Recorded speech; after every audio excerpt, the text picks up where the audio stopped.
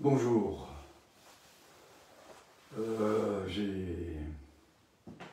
j'ai annoncé que j'allais euh, rendre hommage à Patrick Vallas. Hein, c'est écrit là sur, euh, sur, le tableau. Dans la mesure où, pour moi, il est toujours là. Il est toujours là par rapport au, à ce que j'ai pu travailler avec lui, aux échanges que j'ai eus avec lui durant ses séminaires, durant mes séminaires. Et euh, ce que je voudrais essayer de développer aujourd'hui est en rapport avec ça justement, que j'avais prévu, hein, euh, à savoir euh, l'énigme, on va dire, le mystère, hein, le, mystère d'une pratique d'une pratique, euh, celle euh, pratique de la psychanalyse, hein, et d'une pratique de la voix lyrique. Puisque j'ai effectivement les deux expériences, et qu'en général, ce qu'on trouve décrit là-dessus, c'est. Ça n'est pas fait par des chanteurs. Bien sûr, je ne suis pas un chanteur professionnel, hein, mais je chante tous les jours et la grande question que je me pose, et que je pose et que j'essaie de développer en fait, c'est, euh, bien sûr, hein, c'est pas une question comme ça qui, qui est évidente au départ. Hein, hein. Qu'est-ce qui pousse? C'est bien sûr pousser, c'est quelque chose de l'ordre qui nous anime, la pulsion d'objet petit art. puisque vous savez que la pulsion, ça fait le tour de l'objet. Euh, qu'est-ce qui pousse Tous les sens du terme. Hein. Qu'est-ce qui pousse un jour, ou depuis toujours plus exactement, à chanter, puisque le chant apparaît dès la parole chez l'être chez l'être euh, parlant, hein, chez l'être euh, depuis le début. Hein. C'est une fonction pour dire tutélaire. Et de la même façon, c'est une question qui euh, peut renvoyer à une autre question, qui est celle que, vous connaissez, hein, je pense, pour la plupart d'entre vous, qui pourrait se dire ainsi, qu'est-ce qui pousse à faire une psychanalyse? Parce que, évidemment, quand on, quand on s'engage dans cette perspective-là, quand on fait ce qu'on appelle une demande d'analyse, on ne sait évidemment pas ce qu'on va demander. Puisque de toute façon, euh, euh, il y a toujours cet a, c'est-à-dire euh, ça n'est pas ça. Hein, je connaissais le, le, nouage, je te demande de refuser ce que je t'offre. Et ce qui nous tout ça, c'est ça n'est pas ça. Parce que euh, c'est une question, c'est une question, du moins c'est un, c'est un champ, je crois, avec lequel j'ai rejoint certains, questionnements de, Patrick, qui lui, vous le savez, était euh, orienté beaucoup sur la transmission de quelque chose, euh, même si on ne peut pas le transmettre. Hein. Justement, c'est parce qu'on ne peut pas le transmettre qu'on peut toujours essayer, mais c'est ça l'expérience. L'expérience de la psychanalyse, c'est d'essayer ce qu'on ne peut pas essayer. Hein. Parce que parce que c'est pas pas comme ça, c'est pas euh, c'est pas quelque chose qui est simple, et euh, c'est justement quelque chose qui a à euh, prendre de la graine de l'art. Prendre de la graine de l'art, c'est pas expliquer l'art. Hein. Freud n'a jamais fait ça, Lacan surtout pas. Il ne s'agit pas d'appliquer, hein. c'est de fixer des données euh, psychanalytiques prouvées, on ne sait pas où, hein, sur telle ou telle œuvre d'art l'artiste qui pourrait peut-être en dire quelque chose. Or, les artistes, habituellement, et notamment les chanteurs, ne parlent pas de ça. Même Maria Callas, qui a un peu parlé de ça, ne parle pas de ce qui, de ce qui l'anime au moment où elle chante. La seule chose qu'elle dit, c'est que sa voix, à ce moment-là, elle est pour l'autre, pour le public, ce qui est une position du fantasme. Hein. Ce qui peut expliquer d'ailleurs ce qui a pu se passer quand euh, sa voix n'a plus été la belle voix qu'elle pouvait entendre. Alors qu'en fait, je, viendrai tout à l'heure, sans doute y avait-il quelque chose qui jusque-là était voilé dans sa voix. Bon. Le, mot voilé, vous voyez, euh, euh, voisine avec voix, hein, voilement, dévoilement, c'est ça qui se passe dans la voix, il y a quelque chose, c'est ça qui se passe à l'opéra. Donc je ne vais pas faire un cours, évidemment, sur mon un cours réussi de toutes sortes de choses que vous pouvez trouver sur l'histoire de l'opéra, l'histoire de l'art, enfin tout ce que vous voulez là-dessus. Euh, euh, mon ami Poisat, qui, est décédé il y a plusieurs années, a, beaucoup travaillé ça, Michel Poisat, euh, sur la voix de l'ange, la voix du diable, enfin tout ça. Essayez de dire ça, il explique un peu tout ça. Mais il explique bien que lui, il parle en, en tant qu'entendeur, et non pas en tant que quelqu'un qui se, ce qui anime le corps.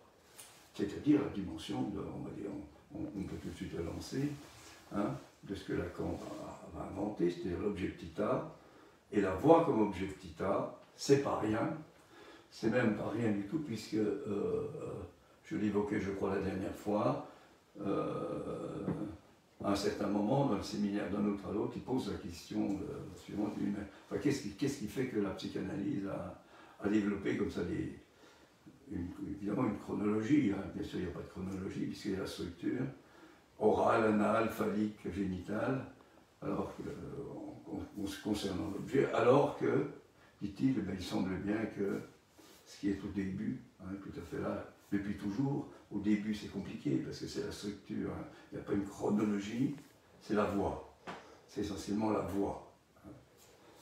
Ce qui explique que alors qu'en 1880, à Annao, Bertha, euh, Bertha Pappenheim, c'est alias Annao, hein, dit à, Freud, écoutez, laissez-moi parler, c'est la talking cure, qu'il est, question du, ramonage d'une cheminée hein, dont on parle. Eh bien, quasiment un siècle après, hein, en, 1799, c'est quand même... Euh, pardon, en 1977, je fais je fais, euh, ça marche, quoi. Bon, ça marche bien, j'ai bien démarré. Hein. En, donc, en, 1977, Lacan parle, lui, à ce moment-là, de quelque chose qui est quand même étonnant. Hein. Il dit, euh, ben, la, psychanalyse, c'est une pratique du bavardage. évidemment, si on est dans la langue et non pas dans la présentation, le bavardage, c'est la bave. Hein, c'est la bave, et la bave, c'est baba, et le baba, c'est le. Vous, vous, entendez tout ça, évidemment. Hein. Ah oui, hein. c'est le babil. On arrive à cette dimension de la langue en un seul mot. Donc la psychanalyse, c'est une pratique du bavardage, pour autant que ce bavardage vient voiler, masquer quelque chose qui est cette dimension de la langue, écrite en un seul mot, et il, envoie un jour quelqu'un au tableau, Patrick l'explique bien. Un jour, là, son séminaire, il faut que c'est au pire, ils vont la langue, et euh, bien sûr la personne écrit la langue en deux mots, comme on écrit habituellement, il dit Non, c'est pas ça! Vous savez, tombe Lacan, quand il parlait, hein. C'est pas rien, le Lacan. Hein. Bon. Euh, et c'est un seul mot. Et pourquoi? Ben, du coup, là, on sort directement de tous les codes euh, du sens, de la signification, de tout ce qui est codifié dans le dictionnaire. Et la langue, c'est les, évidemment les onomatopées, c'est les 10, euh, graphies calculées, enfin, c'est quelque chose qui s'écrit autrement. Essaie l'exemple classique, les noms du père, et ça pose la question, effectivement, la langue, de la coupure. Moi, je vais revenir là-dessus parce que on en, on, en dit tellement que. Euh, voilà. Alors il y a donc cette ligne-là, et puis, pour moi, dans mon expérience, c'est pas pour moi, dans mon expérience de chanteur, il y a une ligne qui est quasiment parallèle. Hein, parallèle. Euh, et là, je me, base sur l'objet voix, le réel de l'objet voix. Hein. C'est pas la matière sonore. Hein, le réel de l'objet voix. J'insiste, en tant que pratiquant, la pratique, hein, non pas en tant que penseur et remaniant toutes sortes d'idées sur l'objet, puis à ça, puis on trouve ça. ça, ça c'est. Et, c'est ce que j'essaie de faire pour le moment, de vous parler, non pas dire un texte. Hein. qui explique toutes sortes de choses importantes dans la, je pense, dans ce que vous pouvez entendre de ce qui joue, au-delà du sonore, dans ce que je vous dis, quelque chose, ça c'est important. Toutes les procédures, effectivement, de la psychanalyse, la cure, les contrôles, la passe, après tout ce que vous voudrez, les pratiques, hein, les procédures se reposent sur la voix, sur le fait de parler, sur le fait de parler. Hein. Donc, euh, et, euh, donc, vous voyez que à la, au départ de Freud sur euh, ce départ étant mis en, mis en place par, une patiente, hein, n'importe quoi ça, hein, hein. on vient répondre notamment euh, Lacan, 97 euh, euh, années plus tard, cette dimension dans, le, son séminaire en 77, le moment de conclure, le premier séminaire, je crois, c'est une pratique du bavardage. Le bavardage. Alors qu'est-ce que c'est que le bavardage C'est-à-dire que là, on n'est plus, comme tout au début, dans cette opposition entre la parole vide et la parole pleine, hein, qui était encore dans la, signification. Hein. On est dans autre chose. Donc qu'est-ce qui se passe dans une cure? Tout déroulement. Qu'est-ce qui, reste d'une cure à la fin? Quand on a développé les choses. Et qu'est-ce qui reste effectivement de, la pratique du chant lyrique? Quand on est passé par toute la technique qu'il faut acquérir, effectivement, comme dit le Maria Callas, euh, moi je mets ma camisole de force hein, quand je chante. Qu'il y a une technique, effectivement, mais euh, la technique, c'est pas, c'est pas, c'est quelque chose qui, qui aussi est propre à chacun, et le rapport à la technique est quelque chose qui est aussi propre à chacun. Donc je ne vais pas vous parler de la technique, évidemment, euh, véritablement, peut-être qu'à un moment, comme je ne sais pas trop ce que je vais vous dire ce soir, j'y viendrai, mais pour en parler autrement que sur un, sur un mode, on va dire, strictement technique. Donc avec Patrick Vallas, on, a parlé plusieurs fois de ça, et, euh, euh, il, a été amené à me dire finalement dans ce que tu racontes, euh, là, dans tes séminaires, ce que tu parles, c'est de la, c'est de la crachose. Oui, j'en ai parlé de la chose la dernière fois, la chose freudienne. Et Lacan, effectivement, utilise ce, ce, mot-là, cracher, cracher, c'est-à-dire euh, finalement postillonner, euh, éclabousser, c'est ça la parole. Hein. Il y a quelque chose qui sort comme ça. Hein. Ce qui explique d'ailleurs que, ce ne soit pas simple de parler. Hein. Moi, je n'arrive pas beaucoup à parler à cause de ça. Hein. Baver. Un exemple clinique, on trouve ça, par exemple, on peut trouver ça avec, euh, pour ceux qui ont travaillé avec des, jeunes autistes, des enfants autistes, on voit bien qu'il y, a quelque chose comme ça qui, est présent dans la clinique au niveau, au niveau du corps, qui, sort, autrement qu'avec des mots. Hein. Bon. Et donc, euh, cette dimension de, la, pratique, il faut la saisir, euh, cette pratique du bavardage, évidemment, euh, vais, essayer d'en dire quelque chose, parce que je dirais que c'est une pratique comparable qui, est en jeu, alors évidemment avec autre chose, avec autre chose, justement en direction d'autre chose, de la chose, hein, euh, lorsqu'il s'agit de chanter, puisque, on peut quand même euh, croire un petit peu en ce que dit notre cher euh, Amadeus, là, Wolfgang Amadeus Mozart, il dit la musique, la musique, elle n'est pas, pas, sur la partition. Alors, et où la musique hein?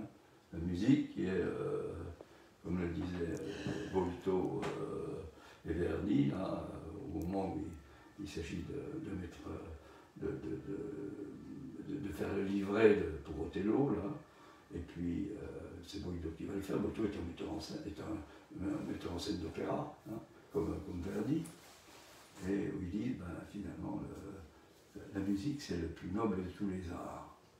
Pourquoi? Parce que l'opéra c'est pas un drame. Il suffit de quelques mesures, musique, et tout est changé. C'est vrai que c'est ce qui joue. Tout d'un coup, effectivement, quelque chose fait que. Et c'est pas au niveau des instruments, c'est au niveau de la voix qui chante. Quelque chose va faire que, eh ben, finalement, comme on dit là, on, tombe par terre. On entend quelque chose, on tombe par terre. Ou alors il faut s'asseoir. Enfin, il y a quelque chose d'inouï. Alors, finalement, donc vous voyez que Lacan, il part, bien sûr, par, son truc, euh, son truc qui est, euh, bien sûr, progressivement, hein, euh, j'en ai parlé avec le graphe, tout ça, le, le, signifiant, par exemple, le sujet pour un autre signifiant, puis alors après, par un axiome, on pourrait dire béton, hein, l'inconscient est structuré comme un langage. Voilà. C'est-à-dire que si vous voulez un petit peu résumer, on dirait que d'emblée, du fait de la rencontre des signifiants, c'est-à-dire du symbolique, c'est-à-dire qu'on est parlé, avant même d'être conçu, hein, enfin on est parlé, c'est-à-dire est, on, est mis à une certaine place signifiante, hein, c'est pas de signe, hein, donc on ne saura jamais bien ce que c'est. On parlé, et puis la rencontre de, ces signifiants euh, avec quoi? Avec le réel de la jouissance du corps, au moment, au moment notamment où on arrive à infance, hein, quand on ne parle pas. Hein. Infant, c'est celui qui ne parle pas, on peut rajouter encore. Hein. Et pourtant, il est déjà dans la parole, évidemment. Hein. Du côté de l'infance, là, il y a quelque chose d'emblée, il y a un nouage entre ce réel de la jouissance du corps, du corps vivant, celui dont, va s'occuper la médecine, et uniquement la médecine, ce mode-là, l'organisme vivant, et puis le symbolique. Au moment de cette rencontre qui est une rencontre contingente, c'est imprévisible, on ne sait pas ce que c'est. Il y a une affinité. Alors, est-ce que c'est une affinité?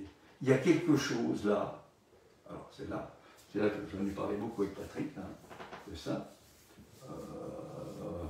Il y a quelque chose là qui est, particulier. Et quand, dans nos échanges, euh, ce qu'il en a résulté, comme ça, d'échanges privés, hein, essentiellement, sauf quelques-uns à la fin des séminaires, euh, ce qu'on est arrivé à dire, ce qu'il me dit finalement ce que tu dis, est-ce que, est que moi j'entends dans la voix de Maria Callas par exemple, hein, ben, c'est le fait que tout se passe comme si. J'ai essayé de vous dire ça, c'est important parce que j'ai l'impression que c'est ça qui arrive à la fin, à la fin de l'enseignement de Lacan. Hein. Tout se passe comme si il y avait quelque chose, quelque chose de l'ordre réel qui pourrait être mis en musique, qui pourrait être chanté. C'est ça que j'entends. Donc le réel, on ne peut pas dire ce que c'est, mais c'est un savoir particulier qui peut être porté par la musique. Et ce réel-là, évidemment, là, on peut parler d'inconscient réel. C'est comme ça que Lacan va l'appeler, tout à la fin. Hein. Un inconscient réel, qui n'est pas un inconscient structuré comme un langage. Et ce réel-là, alors c'est toute la question, j'ai parlé de l'autisme, ben, peut-être que c'est une piste, ça, enfin, il faudrait en parler avec euh, un spécialiste, notamment. Euh, euh, oui, il faudrait un peu développer ça, mais bon, c'est pas ça que je vais développer aujourd'hui, puis j'ai pas l'expérience pour en parler suffisamment. Hein. Mais ce réel-là qui est là, là, oui, d'emblée, là. Mais il ne faut, il faut pas y voir une succession. Hein. On n'est pas dans l'ontologie, là c'est au niveau de la structure, il y aurait quelque chose comme ça, et la structure et l'inconscient structuré comme un langage hein, euh, viendraient du fait de ce réel-là. Autrement dit, là, le chant, la voix lyrique,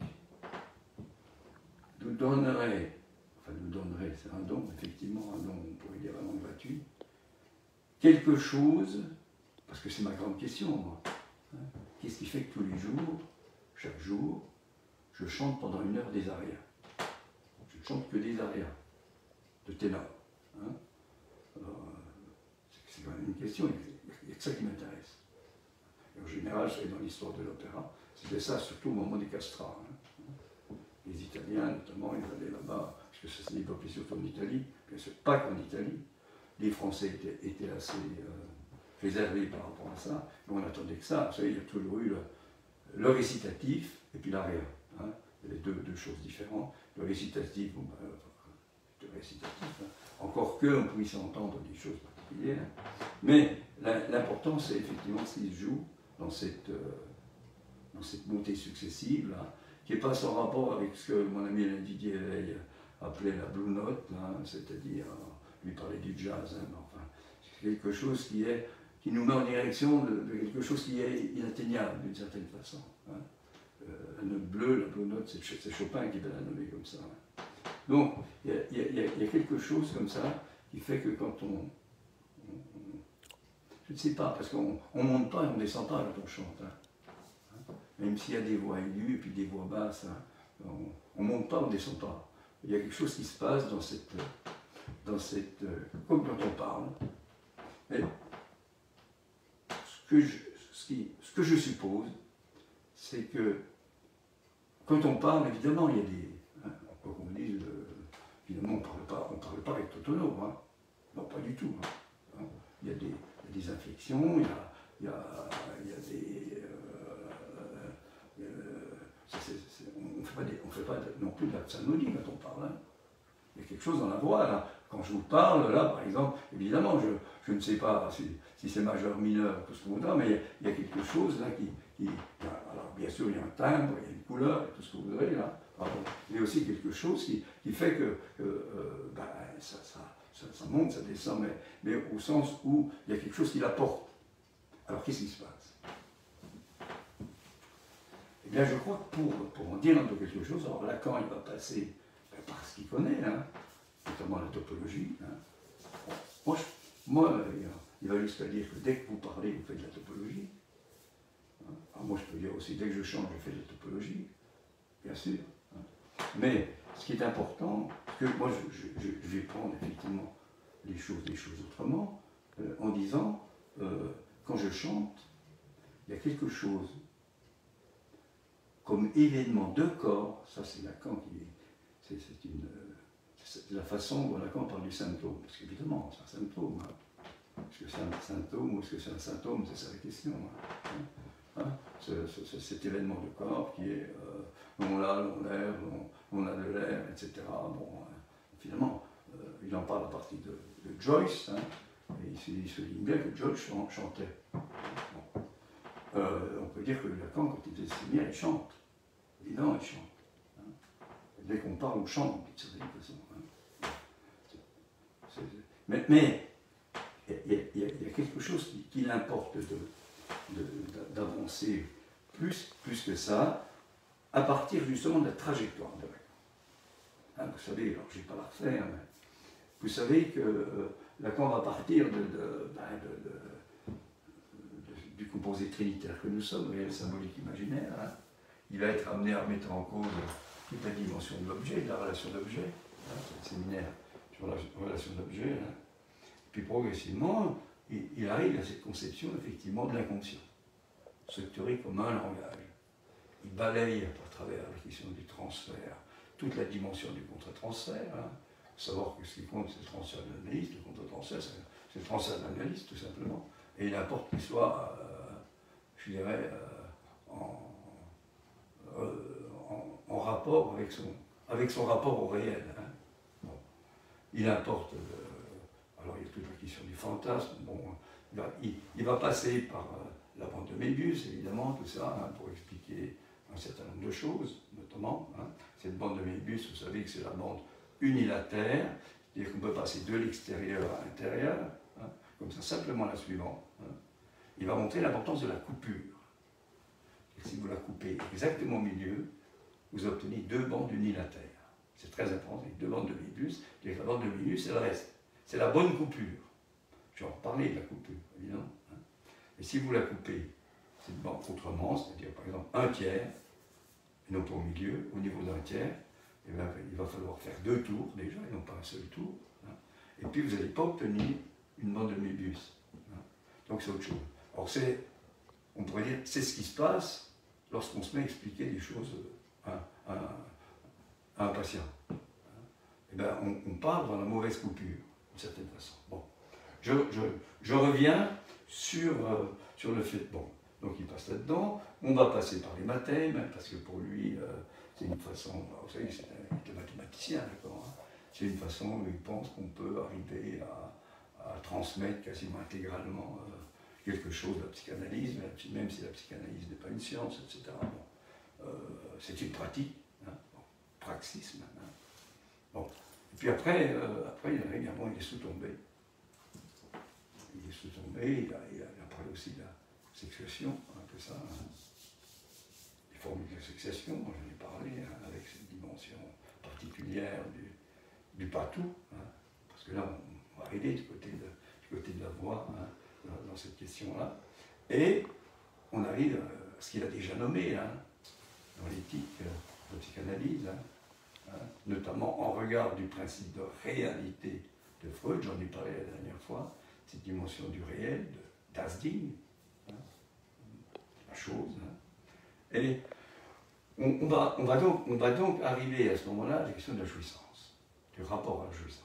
Alors, que se passe-t-il? Comment on peut dire ça? On pourrait dire, je crois, les choses de la façon à peu près comme ça. Quand l'analysant parle, finalement, il déroule un ruban. Je prends ruban parce que c'est, ou un fil, un fil de jouissance, qui est voilé, évidemment, par du sens et la signification. Donc il dit ce qui vient. Il essaie de dire, on lui dit, on lui demande de dire tout ce qui vient. Hein. bon. Et l'analyste a à être pris par ça, parce qu'il faut bien qu'il accepte que ça se déroule comme ça. Mais l'analyste est aussi et surtout ailleurs. C'est-à-dire qu'il est celui qui va, voilà le mot coupure, qui va couper par une intervention, alors c'est quelque chose qui est ce fil de jouissance, pour, plus exactement, dans, dans tout le sens qui peut, qui peut apparaître, pour que ce fil de jouissance apparaisse. Puisque la jouissance, on ne peut pas dire ce que c'est, sauf qu'elle est continue. Dès qu'il y a cette rencontre dont j'ai parlé au début, la jouissance, elle est continue, elle est toujours là. On ne sait pas ce que c'est, c'est un savoir. Il n'y a pas du sujet de la jouissance, mais elle est là d'emblée, dès le début, dès la rencontre, chez le nouveau-né que nous sommes, hein, jusqu'au moment où on disparaît. Beaucoup. Euh, Patrick a beaucoup insisté là-dessus, euh, différentes. Donc, il y a donc ce fil de jouissance qui se déroule. Et alors, évidemment, l'analyste, il va penser hein, toutes sortes de choses. Mais ça, c'est son truc. Hein. C'est son truc, il faut qu'il se garde d'une certaine manière. Parce que s'il comprend ce que l'autre, s'il rentre dans la compréhension de ce, qui, de, ce qui lui est dit, ça veut dire qu'il est compris. Ça veut dire qu'il est pris. Hein? Ça veut dire que, alors qu'il a à avoir cette fameuse attention que l'on dit flottante, qui n'est pas du tout, qui voudrait plutôt dire une attention qui est sans attention. chacun. C'est-à-dire ce, rapport, ce rapport à ce qui est insaisissable, ce rapport à l'objet insensé, quelque chose, et tout d'un coup, pour toutes sortes de raisons, soit qu'il va faire une coupure, il interrompt la séance, ou alors il arrête sur euh, un mot particulier, un mot. Hein. Pourquoi? Pourquoi c'est comme ça? Parce que c'est normal, l'analysant, il pense que les mots et les choses, ben, ça va ensemble, ça s'accorde. Hein. Hein, c'est toute la question de, ce que Freud développe euh, dans justement l'esquisse, là, hein, euh, sur les Vorstellungen représentantes. Hein, euh, je me trompe, pas sur les Vorstellungen représentantes, ça c'est les signifiants. Sur les Sache Vorstellungen, les représentants de choses, et les Wort Vorstellungen, qui, vont ensemble, quasiment, ça, va ensemble, ça, ça fait des représentations. Donc, l'analyste a laissé se dérouler les choses, comme ça, mais il a à être dans l'inattention du sens de tout ça, parce que, ou du fait que lui, dans son analyse, il a été touché par le fait qu'il y a autre chose. Voilà. Et s'il a été touché et que ça a fait interprétation, c'est-à-dire c'est une coupure, à ce moment-là, il y a quelque chose qui ne marche plus comme avant c'est le passage du symptôme au symptôme. chose qui ne fonctionne plus pareil dans, dans, ce qu'on appelle le fantasme. La réalité ne va pas changer. Dans le rapport à la réalité, quelque chose qui n'est plus pareil, c'est-à-dire que euh, il parle, il parle, il parle, ben, c'est tout son amour de l'inconscient. Hein. C'est la fin du séminaire des noms du Père. Hein. Il dit tout ça, oui. Pour la, première, pour la première fois, vous allez être dans la position de ne pas aimer votre inconscient. Parce que c'est un savoir emmerdant. Hein, ailleurs, il va dire c'est comme un chancre.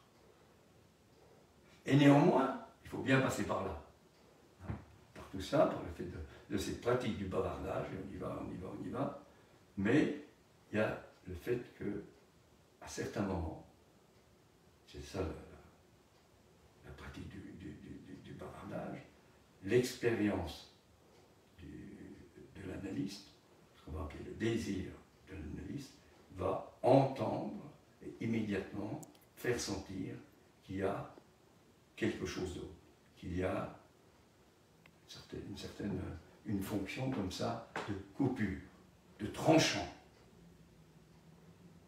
Alors il peut évidemment, c'est casse-gueule ça, hein. il peut se tromper, le problème c'est, même s'il se trompe, ça ne va pas poser euh, euh, des choses importantes, hein, parce qu'évidemment c'est comme la tripe personne du mot d'esprit, hein. c'est-à-dire que c'est un moment là où, on ne sait pas bien où on est. Hein. Moi, ça m'est arrivé dans mon analyse, le moment où c'est survenu, euh, en considération, hein, comme quand j'ai entendu le cri y a un moment comme ça, pour l'impression. Il, y a un moment comme ça où j'ai l'impression qu'il y, a un trou. Et après, évidemment, ça se refait, etc.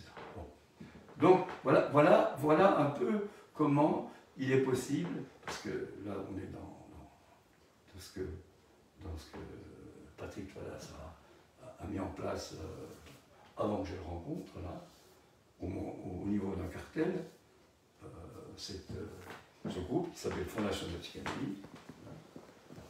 Et puis, en 2020, fin 2020, on a fait une, assemblée générale, là j'étais dans le coup, et on a décidé de, restreindre ce, petit groupe. Euh, lui, Patrick était euh, vice-président, moi président, euh, Edwige Filiatre est trésorière, et Franck Ancel est le secrétaire. Et vous pouvez effectivement trouver ça sur, sur le site, etc. C'est pas, pas le groupe Facebook, hein c'est pas lié, c'est pas la page Facebook. Hein. Il y a une page Facebook. Ce dont je vous parle, c'est autre chose. Hein. Il, y a, dessus aussi mes séminaires et d'autres, d'autres notamment de Franck euh, Ancel et de Patrick Vallas. Alors, on en arrive au fait que, voyez, on en arrive au fait que parler, cette pratique du bavardage, qui est la psychanalyse. Vous voyez le saut qui est fait entre le début où euh, ben, il y a la, parole pleine, la parole euh, vide, il y a euh, toute la question du transfert, etc. Il est passé par le refleurissement de l'amour, enfin, il y a tout un trajet extraordinaire qui est fait par Lacan, et c'est ce que Patrick essaie de, transmettre à sa façon. Hein. Il, a, beaucoup besogné en enregistrant, etc., les, séminaires. Hein. Et il y, a, le fait qu'on arrive à, au fait, finalement, qu'est-ce qui fait ce que je posais la question? Qu'est-ce qui pousse à faire une analyse? On ne sait évidemment pas au début. Ben, c'est qu'il y a ça. C'est qu'il y a quelque part quelque chose. Il y a quelque part quelque chose qui fait que ben, on, est réduit à quoi? Alors bien sûr, on peut être réduit à l'objectif A, bien sûr. On est réduit à quelque chose qui montre l'importance de la parole. Mais pas au sens habituel. C'est pas fait pour communiquer, ni c'est fait pour jouir. C'est l'usage de la parole. Même tout à fait autre chose que, ce qu'on peut penser habituellement. L'usage de la parole. Donc c'est quand même. Alors, ce que je veux dire par là aussi, c'est le fait que contrairement, ben, c'est normal parce que c'est des, structures qui sont, qui sont là pour apprendre la technique. Hein. Euh, chanter, hein, quand on... Voilà, il y, a des choses qui vont apparaître dans le fait de chanter, qui sont présentes dans le fait de parler, hein, dans le fait de ce, que je, ce que, je décrivais, c'est-à-dire ce ruban là, comme ça de, jouissance qui se déroule, là, comme ça, qui vient sorte euh, éclabousser certains mots, etc. Hein. On ne se rend pas compte, évidemment, éclaboussé, qui vient postillonner, etc. Enfin, tout ça. eh bien, euh, le, chanteur, chanteur d'opéra, le chanteur lyrique, quel que soit son niveau, mais particulièrement dans les aiguës. Pourquoi? Parce que là, on n'est plus, on n'est plus dans le sens, automatiquement. Hein.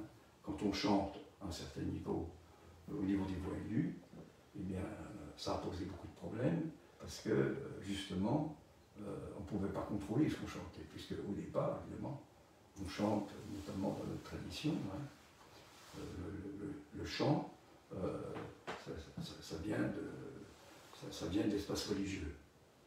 il y a eu toutes sortes de bagarres, lisez, Posa, etc., de vous expliquer tout ça, ce qu'il en est, etc.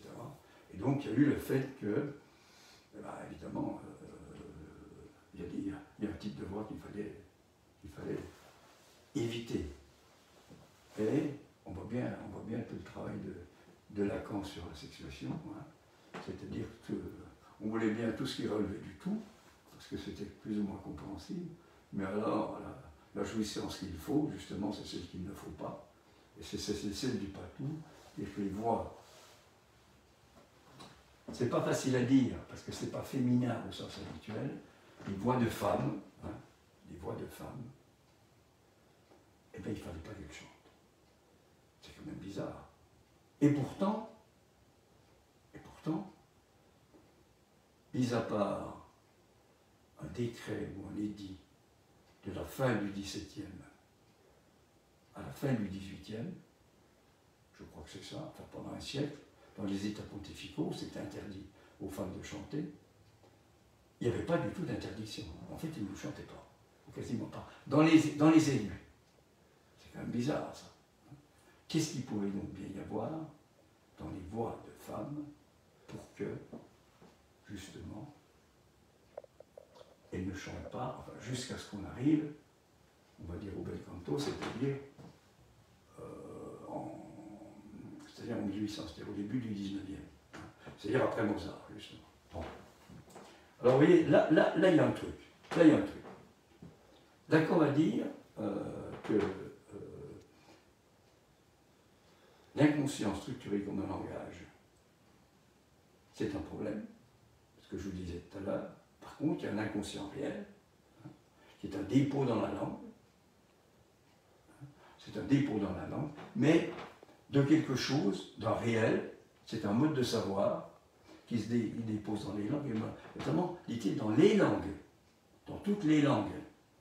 Et il ajoute à ce moment-là quelque chose quand même qui est extraordinaire par rapport à ce que je vous dis des voix de femmes, hein, c'est que ce dépôt,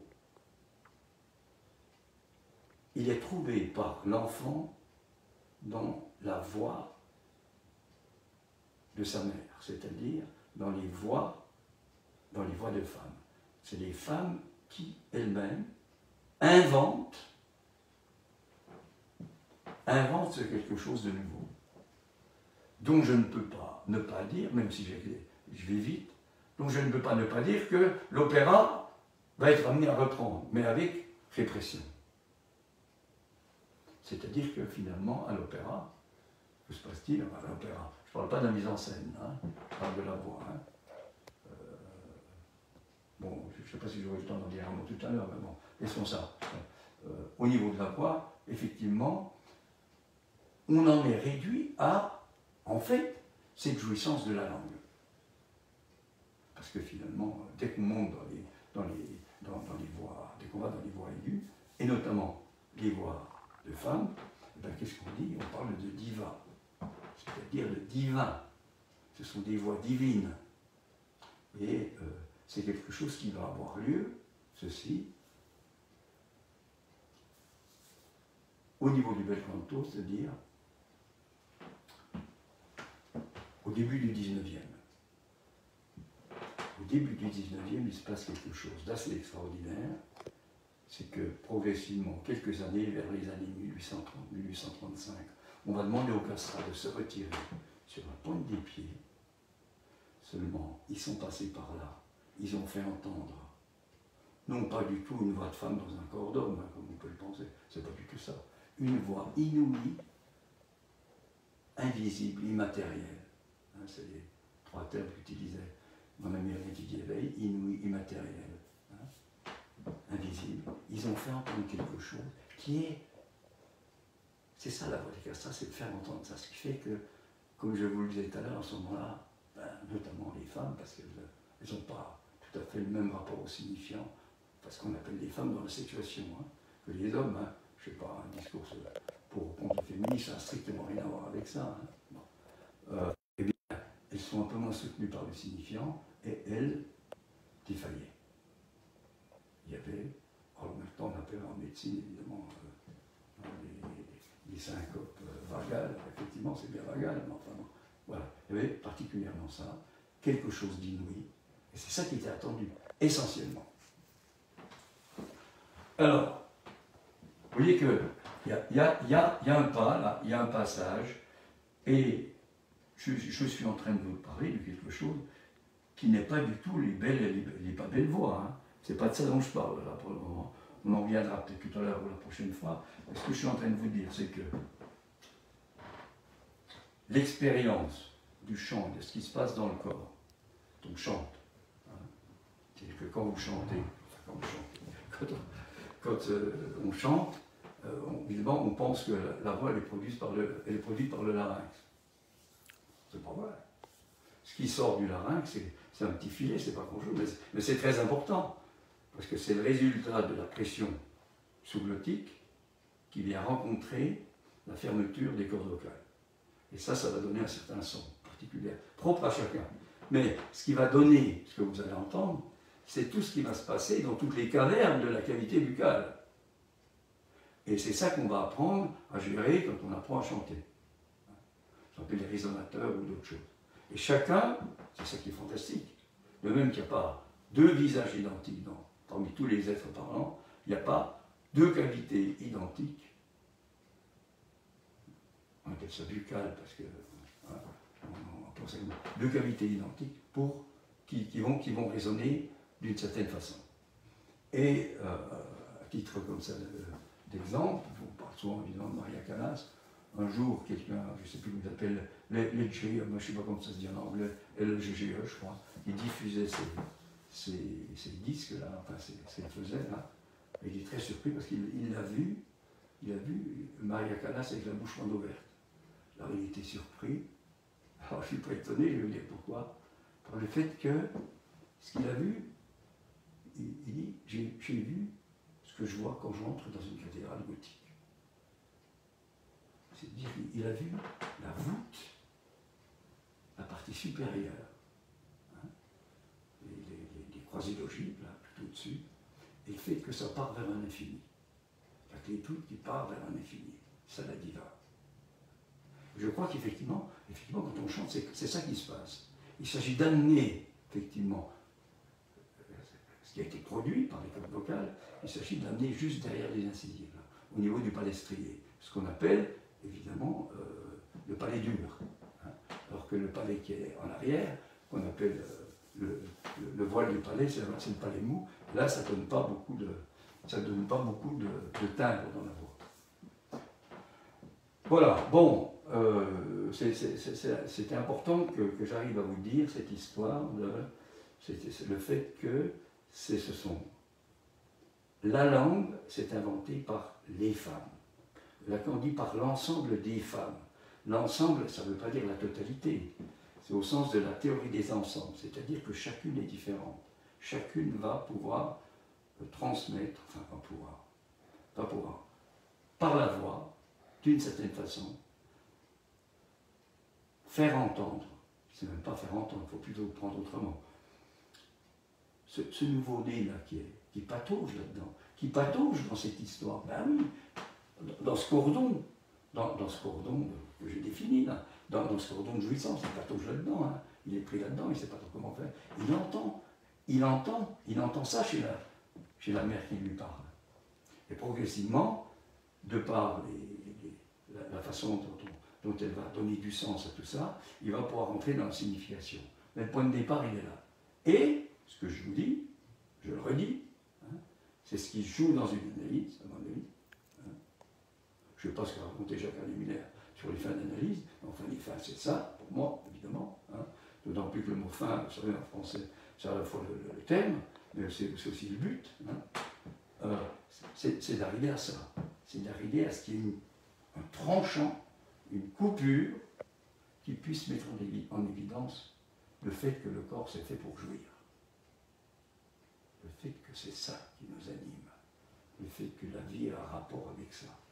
Que la vie est aussi dans la coupure. C'est compliqué. On ne peut pas comprendre. Autrement dit, tout ce qu'on peut penser, tout ce que l'analyste va penser euh, durant de, tout ce qu'on lui dit, attention, attention, attention, attention, il en fait ce qu'il veut, mais de toute façon, hein, euh, bon, voilà, vous avez bien compris ce que je veux dire, c'est pas ça l'important. Et donc, ce que révèle, ce que fait apparaître, effectivement, la dimension de, la voix lyrique, ça comme ça parce que je trouve que c'est plus joli, hein, la voix lyrique, la lyre, là, c'est le fait que quand on chante, finalement, bah oui, on postillonne, quoi. Il n'y a pas des postillons, bien sûr. Mais on lâche quelque chose. Il faut, il faut, il faut que ça sorte. Il hein. faut que ça sorte. Il faut que ça, ça, passe, ça passe l'orchestre hein, hein, sur la scène de l'opéra. Il faut que ça passe l'orchestre pour que ça aille en direction, en direction de, de, l'entendre. Et puis l'entendre, bah, il peut arriver effectivement que celui qui entend, bah, il soit pris. Il soit pris pour le fait qu'il entend quelque chose de lui à partir de ce qu'il entend. Alors là, quelque chose qui est extraordinaire, quelque chose qui est manqué du côté de tout ce que l'on peut comprendre, du côté de la réussite. Et autrefois, maintenant je ne sais plus parce qu'il y a Internet, autrefois, ben, évidemment, les, mélomanes, on les appelle les mélomanes, hein, hein. on ne les appelle pas mélophiles, hein. les mélomanes, c'est comme les toxicomanes, c'est des gens qui sont complètement intoxiqués, les manes, bien sûr, l'allemand qui dit, bon, mais enfin, eh ben, le, fait d'être intoxiqué, comme je le dis, c'est-à-dire d'être pris par le fait de, devoir chanter, d'avoir à chanter, d'avoir à, dire, d'avoir à parler, parce que finalement c'est ça le truc, chacun d'entre nous, hein, hein, ce qui est important, c'est cette pratique du, bavardage. Hein. Alors, il y avait donc ce dépôt dans les langues, les langues, qui viennent de l'ensemble des femmes et qui, n'appartiennent pas à l'inconscient. Ça, c'est une sacrée découverte, ça, enfin, c'est, une supposition. Je crois qu'il s'arrête là-dessus. Et ce dépôt, c'est par foulée. Hein? Ça émerge dans le réel. Pour tout un chacun de façon différente. Je crois que c'est ça qui se passe dans la voyerie. Il me reste encore un petit moment, je ne voudrais peut-être pas trop vous en dire parce que je, pense que j'ai dit des choses importantes. Et c'est ici, cet ensemble des femmes, vous voyez que ça correspond à toute cette trajectoire, hein, la situation. Hein. Effectivement, la dimension de, la dimension du plateau, je n'ai pas, pas le schéma là, je crois pas que je vais là, mais sans faire Non, vous vous, souvenez bien, ben, c'est justement cette jouissance autre jouissance. Hein. Toutes les femmes sont folles, dit Lacan dans, je crois en télévision. Toutes les femmes sont folles qu'on dit. Il dit qu'on dit, hein, on dit, voilà, qu'on dise, hein, qu'on dit. Ben oui, elles sont folles, oui. Mais elles ne sont pas folles du tout. entendre comme vous voulez. Hein. Avec, avec le, le ruban de jouissance que vous voulez, en tranchant vous voulez. C'est ça le truc. Arrangeant, tu dis. Ouais. Ouais, bien sûr. Bien sûr. C'est ça le truc. Hein. C'est ça le truc. Alors, il y, y, a donc dans, l'histoire de l'opéra, vous savez, euh, je ne sais plus comment s'appelle, là, excuse si, si, si elle entend ce que je dis. Elle a écrit un truc sur, autour des années 68, là, je crois, sur. Oh, je ne sais plus, je crois que c'est Clément son. Euh, l'opéra ou le. Je ne sais plus quoi des femmes. C'est vrai. C'est vrai que les femmes ont les. Mais c'est pas les femmes, c'est des voix. C'est des voix inouïes, comme celle des castrats. C'est ça. Parce que on ne parle pas de divo, hein. on parle de diva, mais on ne parle pas de divo pour les ténors. On va dire par exemple, euh, il a une voix d'airain, une voix de bronze, Corélie, une voix de, bronze, hein, qui transmet quoi? Parce que c'est ça le truc. Qu'est-ce qu'elle transmet cette voix? De façon, il y a une enveloppe musicale fantastique, hein, c'est-à-dire tout ça c'est bien pris dans quelque chose. Ben, ça transmet une quête, la quête de l'impossible de temps en temps, il en fait entendre un petit peu dans les, dans les pianissimos. C'est ça le plus difficile, les pianissimos. Il en fait entendre. Hein. Écoutez Corinne Grato, comme il a donné, je crois, ça doit être au Japon, euh, dans un concert. Vous allez entendre comment il essaie les choses. Hein. Eh bien, pas étonnant, effectivement, que alors qu'on est en plein débat maintenant au niveau de l'actualité, euh, c'est pas de ça dont je parle. Hein. Euh, euh, il y, a quelque chose, effectivement, dans, alors dans les voix aiguës, parce que ce qui est étonnant, c'est que l'Église, d'emblée, elle, a dit les voix aiguës, c'est ça l'important, c'est la voix de l'ange. Et l'ange, eh ben, l'ange, l'ange, l'ange, il chante pas, hein, l'ange. Hein. Il y a des voix qui peuvent chanter comme pourrait chanter l'ange. L'ange, c'est l'intermédiaire entre Dieu et l'humain. Ce n'est pas le prophète. Le prophète, il parle, hein, prophaimi, hein, c'est du grec. Hein, euh, il parle. L'ange, il parle pas, il transmet. Hein, vous savez, l'évangile, c'est le, le angelon, hein, c'est la bonne nouvelle. Il transmet, c'est celui qui apporte des nouvelles, comme ça. Mais c'est ces voix, de l'ange, là, qui, étaient des voix d'enfants, on s'est rendu compte que ce n'était pas suffisant. alors, les eunuques sont arrivés au IXe siècle, euh, évidemment, au sud de, l'Espagne et du Portugal. Et c'est comme ça qu'on a vu qu'il y avait quelque chose de fantastique parmi les eunuques qui chantaient.